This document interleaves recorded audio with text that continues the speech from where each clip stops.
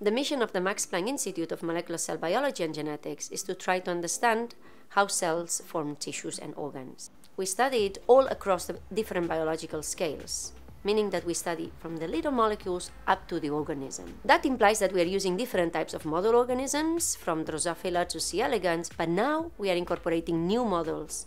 In particular, we are incorporating organoid models. And that means that we are now able to study how cells form tissues in different tissues like the liver, but also brain as well as placenta, pancreas, and also from the very early embryo.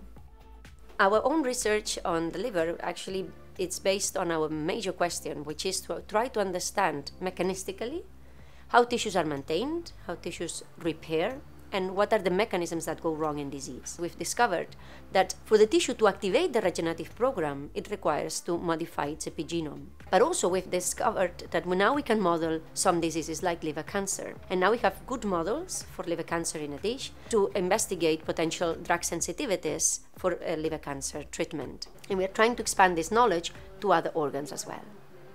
Each organ has a certain shape, and this shape is important for its function. And in the pancreas, uh, the shape is the form of a tree, uh, and uh, along this tree, the progenitors are in the trunk, and these cells are polarized both apicobasally uh, and also in the plane. Organoids are, are very convenient to study how cells act as a community because you can control the community itself. We observe they assemble into spheres and they start rotations, or they elongate and they deform, uh, depending on what we start with. And it's important for this, their differentiation. We can control the initial architecture and look at the outcome on fate. Uh, we can also screen for any compounds that would change the outcome. The MPI-CBG is a unique place because we have the organoids, the model organisms, uh, and a strong core of theorists, uh, including mathematicians, physicists, computer scientists. And these people, in collaboration, can help us be more quantitative, but also develop theoretical models whereby we can test a lot of parameters and compare what we observe in real life, what we observe when we just simulate it. That gives us a lot of power.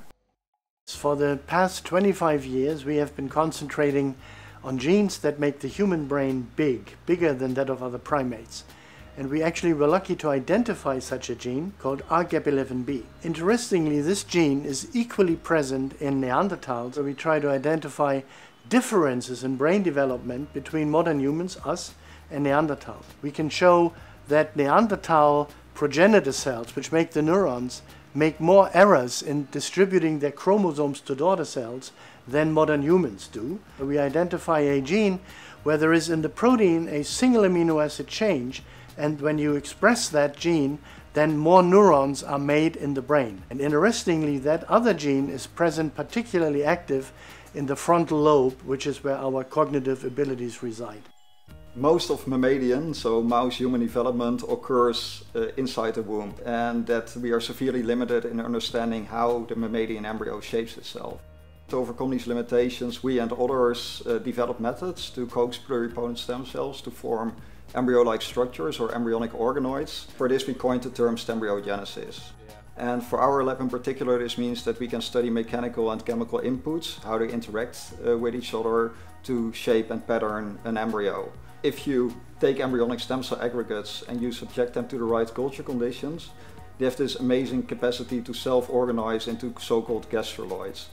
Now what I discovered is that you can supplement these gastruloids with an extracellular matrix compound and this now unlocks embryo-like architecture and this results in highly complex structures that not only molecularly but also morphologically really look like the embryonic counterpart. Essentially what we generate in a petri dish are structures that look like an embryo without a head and that also form in a process that is highly analogous to in vivo development. In my lab, uh, we investigate the development of the placenta, which is an essential uh, organ for proper embryo formation. Placenta development requires a crosstalk between two uh, different uh, organisms, the fetus and the mother. In the lab, we try to recapitulate these interactions in vitro by mimicking the uterine microenvironment, where we grow the fetal stem cells using organoid culture systems. The goal of my lab is to uh, study placenta development across scales from, from molecules to organisms. This concept fits very well with the mission of the Institute.